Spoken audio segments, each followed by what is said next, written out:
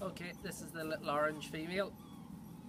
Um, she is the one that likes to be into everything. She's watching everything that's going on.